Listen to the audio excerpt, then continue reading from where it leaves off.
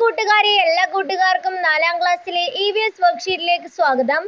ഈ വീഡിയോയിൽ ഇംഗ്ലീഷ് മീഡിയവും മലയാളം മീഡിയവും ഉൾപ്പെടുത്തിയിട്ടുണ്ട്. ഇന്നത്തെ ആക്ടിവിറ്റീസ് അഥവാ പ്രവർത്തനങ്ങൾ എന്തൊക്കെയാണ്?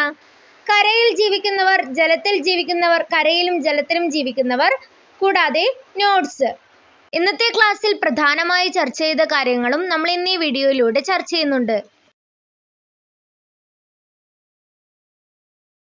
എല്ലാ കൂട്ടുകാരും ചാപ്റ്ററിന് പേരെഴുതുവാൻ മറക്കരുത്. വയലും വനവും. നീ വരുന്നോ? എന്നോടൊപ്പം കളിക്കാൻ? മത്സ്യം അണ്ണാനോട് ചോദിച്ചു. ഇത് കേട്ട് തവള ചിരിച്ചുകൊണ്ട് പറഞ്ഞു വെള്ളത്തിൽ ഇറങ്ങിയാൽ അണ്ണാന്റെ ഗതി എന്താകും? അണ്ണാൻ വിട്ടുകൊടുത്തില്ല. എന്നെപ്പോലെ മരത്തിൽ ഓടിക്കയറാനും ചില്ലകളിൽ ചാടിക്കളിക്കാനും നിനക്കാവുമോ? തവള പറഞ്ഞു വെള്ളത്തിൽ ഊളയിടാനും വെട്ടിത്തിരിയുവാനുമെല്ലാം മത്സ്യത്തെ പോലെ ആർക്കാണ് കഴിയുക? മത്സ്യത്തിന് കരയിൽ ജീവിക്കാനും സഞ്ചരിക്കുവാനും കഴിയുമോ?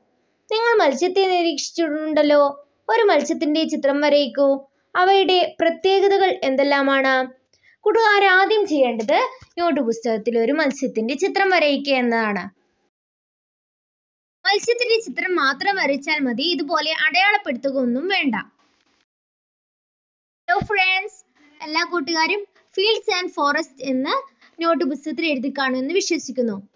Why don't you come down and play with me? asked the fish looking up at the squirrel on the tree. മരത്തിലിരിക്കുന്ന അണ്ണാനെ നോക്കിയിട്ട് ഫിഷ് ചോദിക്കുകയാണ് എന്താ നീ എന്റെ കൂടെ വരാത്തത്? പോണ്ടിൽ എന്തുകൊണ്ട് എന്റെ പ്രം കളിക്കാത്തതെന്ന്? On hearing this the frog laughed and teased ha imagine the squirrel's condition if he gets in to the water what will happen to the squirrel എന്താ സ്ക്യൂറലിന് സംഭവിക്കാം? യാ ഹി വിൽ ഡൈ അതെ അണ്ണാന് പോണ്ടി കേ- അല്ല വെള്ളത്തിൽ പോയാൽ എന്ത് സംഭവിക്കും? മരിക്കും അല്ലേ? മരിക്കും എന്ന് പറഞ്ഞാൽ മുങ്ങിപ്പോകും. ആ അണ്ണാന് നീന്താൻ അറിയില്ല. കൂടാതെ എന്ത് ചെയ്യില്ല? അണ്ണാന് ഒരിക്കലും വെള്ളത്തിൽ താമസിക്കുവാൻ കഴിയില്ല. അതാണ് ഇവിടെ പറയുന്നത്. ഇതേട്ട് അണ്ണാന് ദേഷ്യം പിടിച്ചു. ഇങ്ങനെയൊക്കെ പറയാൻ പാടുണ്ടല്ലേ? The squirrel was not ready to give in അതെ സ്ക്യൂറൽ ഗിവ് ചെയ്യാൻ ഗിവിന് ചെയ്യാൻ തയ്യാറായില്ല. ഹി ഹിറ്റ് ബാക്ക് അവൻ തിരിച്ചടിച്ചു. Can you climb tree and jump along branches like I do ഞാൻ ചെയ്യുന്ന പോലെ അതായത് ബ്രാഞ്ചസിലൊക്കെ ട്രീയുടെ ബ്രാഞ്ചസിലൊക്കെ കയറി ചാടുവാനൊക്കെ നിനക്ക് പറ്റുമോ?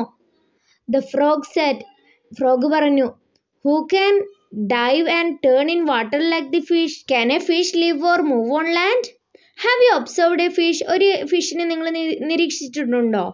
Draw the picture of a fish draw a fish like this ഇതുപോലത്തെ ഒരു മത്സ്യത്തെ വരയ്ക്കുക. പക്ഷെ ഇതുപോലെ അടയാളപ്പെടുത്തേണ്ട. വരയിട്ടിട്ട് ഇത് എന്തെന്നാണെന്ന് പറഞ്ഞിട്ട് നിങ്ങൾ ആരും അടയാളപ്പെടുത്തേണ്ട. നോട്ട് പുസ്തകത്തിൽ ഒരു ഫിഷിനെ വരയ്ക്കുക മാത്രം ചെയ്യുക. അതിനുശേഷം അതിന്റെ താഴെയായി മത്സ്യത്തിന്റെ അനുകൂലനങ്ങൾ അല്ലെങ്കിൽ പ്രത്യേകതകൾ എഴുതാം. രണ്ടറ്റവും കൂർത്ത ശരീരാകൃതി ജലത്തിൽ അനായാസം സഞ്ചരിക്കാൻ സഹായിക്കുന്നു. ജലത്തിൽ തുഴയുന്നതിന് അനുയോജ്യമായ ചിറകുകൾ. ദിശ മാറ്റാൻ സഹായിക്കുന്ന വാൽ ചിറകുകൾ. വെള്ളത്തിൽ തെന്നി നീങ്ങാൻ സഹായിക്കുന്ന വഴുവഴുപ്പുള്ള ശരീരം. ചെകിളപ്പൂക്കൾ അല്ലെങ്കിൽ ശകുലങ്ങൾ ജലത്തിൽ ശ്വസിക്കാൻ സഹായിക്കുന്നു. നിരയായി ക്രമീകരിക്കുന്ന ശൽക്കങ്ങൾ അല്ലെങ്കിൽ ചെതുമ്പുലകൾ ചൂടിൽ നിന്നും തണുപ്പിൽ നിന്നും സംരക്ഷിക്കുന്നു. കണ്ണുകൾ തലയ്ക്ക് ഇരുവശവും ആയതിനാൽ വശങ്ങളിലെ കാഴ്ചകൾ സാധ്യമാകുന്നു. ഇതാണ് മത്സ്യത്തിന്റെ പ്രത്യേകതകൾ. അതവിടെ വരി വരിയായിട്ട് എഴുതി വെക്കുക.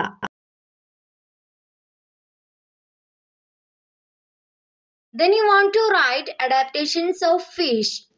After your drawing. നിങ്ങളുടെ ഡ്രോയിങ്ങിന് ശേഷം അഡാപ്ഷൻസ് എഴുതുകയാണ് വേണ്ടത് ഫിഷിന്റെ എന്തൊക്കെയാണ്? Bodies that are sharp at both ends enable them to travel with ease in, easy in water. Fins help them swim in water. Slippery bodies help them glide in water. Gills help them breathe underwater. Tightly arranged scales protect them from heat and cold. Eyes situated on both sides of the head allows them to get better view of their sides. ഇത് കൂട്ടുകാർ not പുസ്തകത്തിൽ എഴുതി വെക്കുക ഇത് വളരെ important ആണ് കൂട്ടുകാർ എന്ത് ചെയ്യണം? പഠിക്കാൻ പഠിക്കാൻ പറ്റുമെങ്കിൽ ഇന്ന് തന്നെ കൂട്ടുകാർ ഇത് പഠിച്ചെടുക്കണം.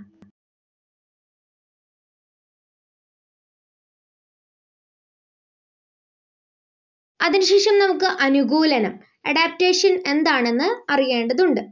ഒരു ജീവിക്ക് അതിന്റെ വാസസ്ഥലത്ത് ജീവിക്കുവാൻ സഹായിക്കുന്ന തരത്തിലുള്ള സവിശേഷതകൾ ഉണ്ടായിരിക്കും. ഇതിന് അനുകൂലനം എന്ന് പറയുന്നു. അതായത് പ്രത്യേകതകൾ. ഇപ്പം നമുക്ക് ഒരു പ്രത്യേകത ഉണ്ടാകും അതുപോലെ ഓരോ ജീവിക്കും ഓരോ പ്രത്യേകതകൾ ഉണ്ടാകും. അതാണ് അനുകൂലനം എന്ന് പറയുന്നത്. Adaptation An organism has certain peculiarities that help it to live in its dwelling place. This is called adaptation. കൂട്ടുകാർ ഇതും നോട്ട് പുസ്തകത്തിൽ എഴുതി വെച്ചോളൂ. ഇതും നിങ്ങളെ പരീക്ഷക്കൊക്കെ സഹായിക്കും.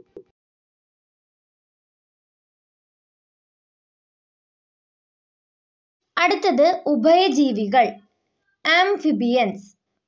എന്താണ് ഉഭയജീവികൾ? കരയിലും വെള്ളത്തിലുമായി ജീവിതചക്രം പൂർത്തിയാക്കുന്ന നട്ടിലുള്ള ജീവികളെ ഉഭയജീവികൾ എന്ന് പറയുന്നു. The വേർട്ടബ്രേറ്റ് which complete their life cycles on land and in water are called amphibians. കൂട്ടുകാരെ ഉഭയജീവികൾ എന്ന് പറയുന്നത് കരയിലും വെള്ളത്തിലും ഒക്കെ താമസിക്കുന്നത്. എക്സാമ്പിൾ ആയിട്ട് നമുക്ക് ഫ്രോഗ് തവളയെ പറയാം. തവള വെള്ളത്തിലും അതുപോലെ കരയിലും ജീവിക്കുന്ന ഒരു ജീവിയാണല്ലേ? അപ്പോൾ അതൊരു ഉഭയജീവിയാണ് അംഫീബിയൻ ആണ്. അതുകൊണ്ട് കൂട്ടുകാർ ഇത് എഴുതണം. ഇനി നമുക്ക് ടീച്ചർ നിങ്ങൾക്ക് തന്ന പ്രവർത്തനം എന്താണെന്ന് നോക്കാം. കുട്ടികളോട് നമുക്ക് ചുറ്റുമുള്ള ജീവികളെ കരയിൽ ജീവിക്കുന്നവ ജലത്തിൽ ജീവിക്കുന്നവ കരയിലും ജലത്തിലും ജീവിക്കുന്നവ എന്നിങ്ങനെ പട്ടികപ്പെടുത്തുക. ഓക്കെ നമ്മുടെ ശരിക്കുമുള്ള അല്ലെങ്കിൽ ടീച്ചർ ഹോംവർക്കായി തന്നിട്ടുള്ള ഹോംവർക്കാണ് ഇത്. ഈ ഞാൻ തന്ന നോട്ട്സിനൊക്കെ ശേഷമാണ് ഇത് എഴുതേണ്ടത്. ഓക്കെ കരയിൽ ജീവിക്കുന്നവ ജലത്തിൽ ജീവിക്കുന്നവ ഉഭയജീവികൾ അല്ലെങ്കിൽ കരയിലും ജലത്തിലും ജീവിക്കുന്നവ. ഇങ്ങനെ മൂന്ന് കോളം ആക്കിയിട്ട് നിങ്ങൾ എന്ത് ചെയ്യാം? നോട്ടിൽ പുസ്തകത്തിൽ നോട്ട് പുസ്തകത്തിൽ വരയിക്കാം. അതിനുശേഷം കരയിൽ ജീവിക്കുന്നവ എന്തൊക്കെയാണ്? നമ്മളിപ്പോൾ ഓരോ പേരുകളായി എഴുതിയാൽ അതായത് മൃഗങ്ങളിൽ തന്നെ സിംഹം കുരങ്ങൻ കുതിര അങ്ങനെ എഴുതിയ ഒരുപാടുണ്ടാകും. അതുകൊണ്ട് ഞാനത് ചുരുക്കിയിട്ട് നമ്മൾ സാധാരണ പറയുന്ന പൊതുവെയുള്ള പേരാണ് കൊടുത്തിരിക്കുന്നത്. കരയിൽ ജീവിക്കുന്നവ ഏതൊക്കെയാണെന്ന് നോക്കാം. മൃഗങ്ങൾ മനുഷ്യർ പക്ഷികൾ പ്രാണികൾ സസ്യങ്ങൾ ചെറുജീവികൾ.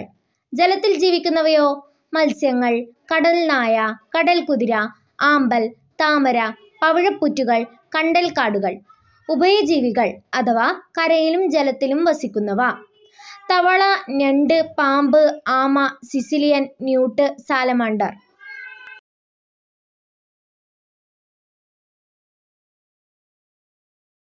Look here friends, living in land, living in water, living in land and water. Living in land, human beings, animals, birds, insects, small creatures.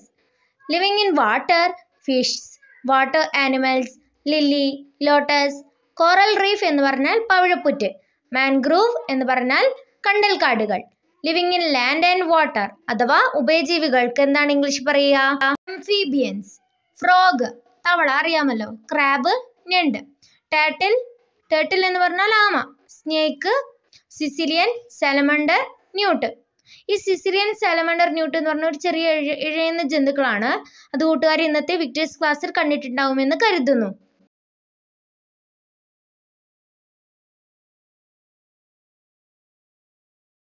കൂട്ടുകാരന്റെ ചാനൽ ആദ്യമായാണ് കാണുന്നതെങ്കിൽ സബ്സ്ക്രൈബ് ചെയ്യുക തൊട്ടടുത്തുള്ള ബെലൈക്കൺ പ്രസ് ചെയ്യുക ലൈക്ക് ചെയ്യുക കൂട്ടുകാർക്കൊക്കെ ഷെയർ ചെയ്യുക കമന്റ് ചെയ്യുക.